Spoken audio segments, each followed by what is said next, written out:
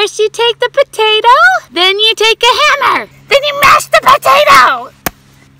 Mash the potato. Then add some butter